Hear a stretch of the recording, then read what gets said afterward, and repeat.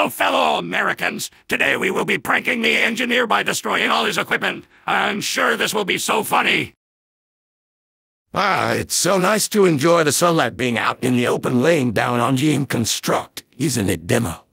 It sure is, Engie. I feel like you and I are the only normal ones around here. Hopefully Heavy doesn't tell him again and back talk, or we'd be roped to the dark space again. Wait! Engie, do you see that rocket coming right towards us? Wait! It's coming closer! Holy crap, run!